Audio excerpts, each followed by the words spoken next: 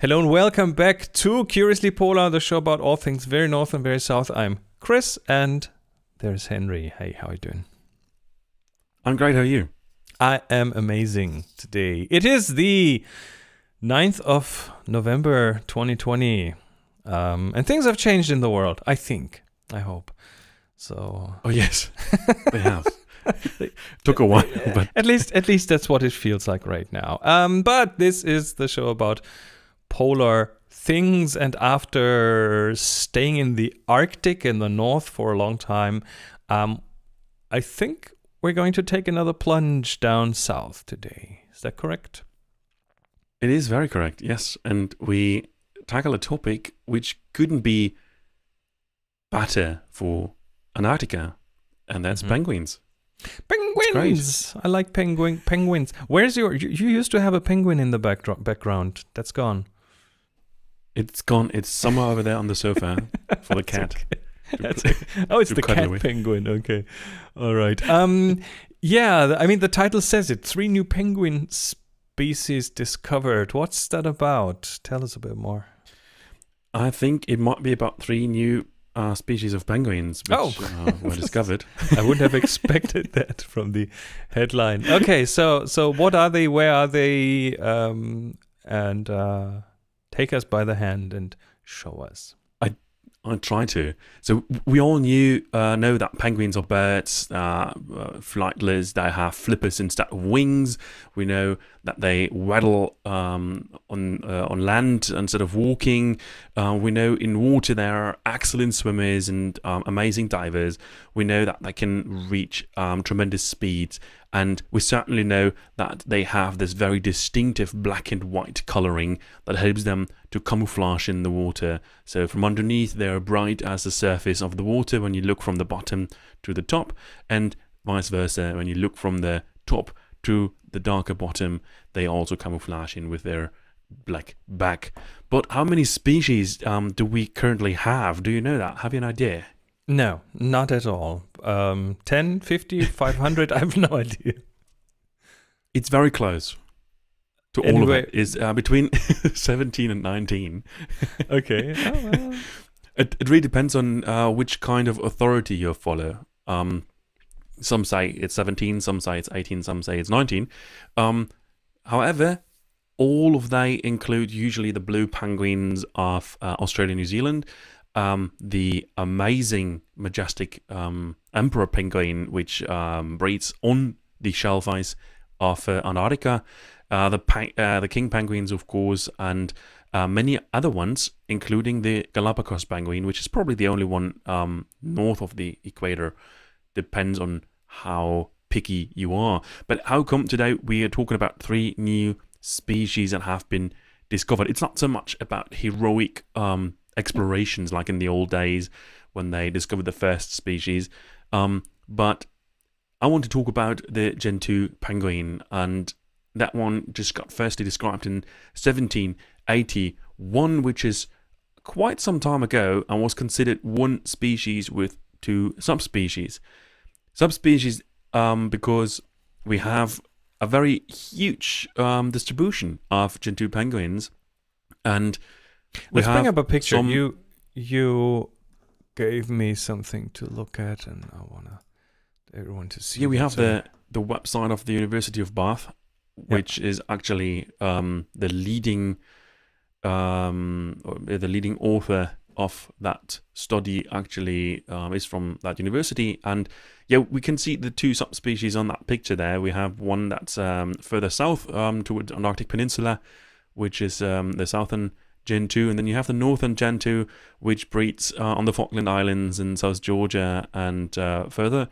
So more in the sub-Antarctic islands, and that's actually the um, this, um, the diversion between the two, where just like one is breeding or yeah yeah nesting further north than the other, and you can actually see a slight difference in coloring. So the the north uh, further north you go, the less black the Gentoo penguin appears. It's more um, brownish, but um, that was kind of the only thing. It's it's not. It, it wasn't really distinguished as two different species. However, now scientists have taken some um, uh, deeper research, and they actually went to a number of different places around Antarctica, including um, the subantarctic islands, and they have analyzed the genetics, they have analyzed the bone structure, and they came to the conclusion that we are talking about four different species instead of one species with two Oh. subspecies. So they actually um, suggest that we have the southern um, Gentoo, which is breeding on the Antarctic Peninsula and uh, uh, uh, South Shetland Islands and and uh, the area over there, which is the the one which were already known, and then you have a split of the northern um, Gentoo in three different species. You have one that's originating from the Falkland Islands, and um, we we have a map in the video. So if you're just listening, I highly recommend just uh, swapping over to YouTube, and then you can follow us on the map. You see the the Falkland Islands um, at the edge of South America, where um, we have one species. The other one originates on South Georgia, and so far it was thought that those two are the same. But the main indicator they have is that the um, Gentoos they are going back to the places um, to their own breeding grounds. So where they're born, they are, are going back for nesting and breeding, and they figured that they're not interbreeding. So the Gentoos from the Falkland Islands are not interbreeding with those from South Georgia and the South uh, Sandwich Islands, and even further, we have the uh, Kerguelen Islands, um, which are at the yeah, southern tip of the Indian Ocean, pretty much in the triangle of uh, South Africa, um, Australia, and uh, Antarctica. Let me And- move over here. So, um, so here's Africa on the left, Australia on the right, and right You see in the, middle dot there. in the triangle there? Exactly. That's a, a group of islands, and uh, you have a, um, of course, a Gentoo population there as well. And now it's suggested that this is also a distinct um, species on its own. And they are not interbreeding. They're traveling a lot, and they have no difficulties to actually reach the other islands um, to find a mate, but they don't do. And that's kind of like the core definition of um, species is that they're not interbreeding. And this is pretty um, pretty new and a pretty distinct um, feature. And this is why those scientists just came up with that. So now we have the scientific paper which got peer reviewed uh, before um, being published. That means that other ornithologists have just studied the data. They just looked into the paper and um, just considered it right uh, or good. So it got published. And now we're just basically waiting for those classification um, associations to accept or decline that. Because we have so, so, so there's a there's a central authority, or how does that come together? Who who There- who there are a says number. who says it's a species? Who who gives that that green light? there are a number of um, of, of those um, authorities, and um, if well, we currently have the the issue that those three are are di- different opinion. So we have three different um, yeah taxonomies, if you if you like. Um, one counts seventeen species, one counts eighteen, and one counts Mhm. nineteen. Um, it's not that easy. It really depends on um, if the scientific data convinces you or not. And sometimes some scientists just say it's not convincing enough, it's not um, distinguished enough. Um, as we, for example, um, have for years an ongoing debate about the rock rockhopper penguin as well. If the rockhopper penguin is just one species or three species. So there might be something coming up soon as well. The research methods are getting um, better.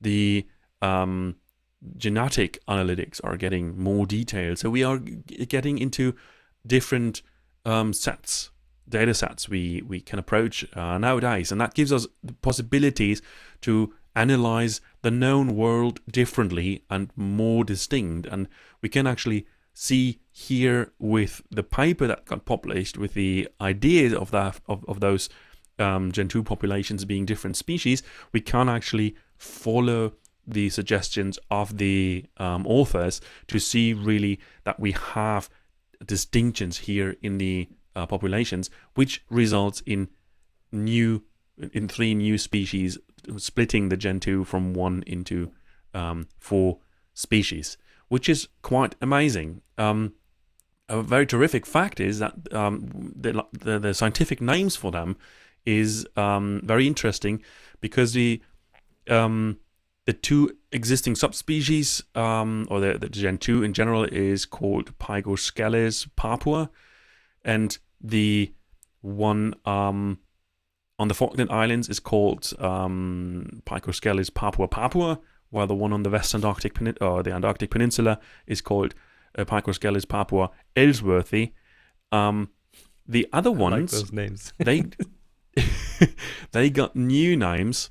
Um, the one uh, around the um, Kerguelen Islands is uh, called, oh god, um, papua taeniata, and the one in uh, around South Georgia is called, oh god, let me check that.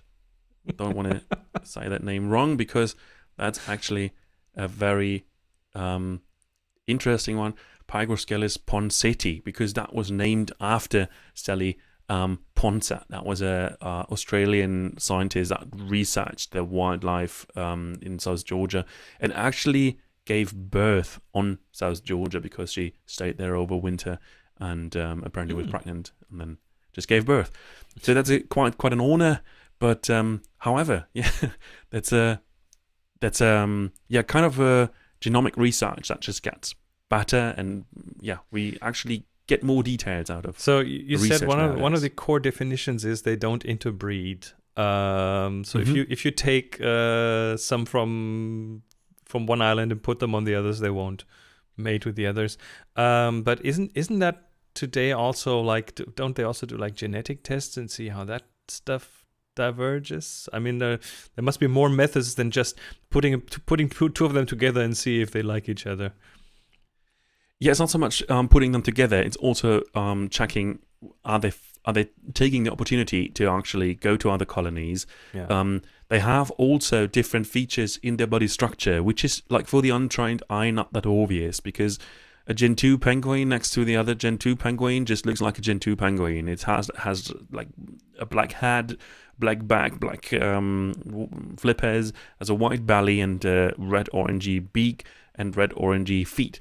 Um, if you a trained scientist, uh, ornithologist, and you um, look really on detail onto those uh, Gentoo penguins, you will find um, different features or features who are differently um, uh, yeah, developed.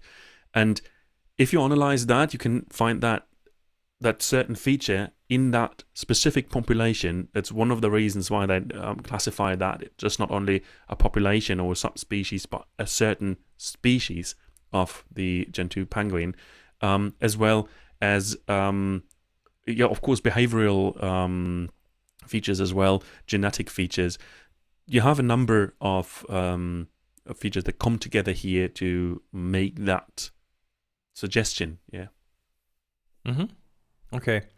So four new penguin, no, three new penguin species. Where we thought it was only one in the in the beginning. Um, we will put the, the, the study itself into the show yes. notes, and Yes. possibly um, an interesting side note is that the the um, known Gentoo species around the Antarctic Peninsula and the one in the Falklands is, is quite stable. Um, the two new additions, however, they show uh, an evidence of a decline in the population and the number. So they are actually um, is an evidence uh, present that yeah the Gentoo species newly discovered are just uh, in a decline. Yeah. Hmm.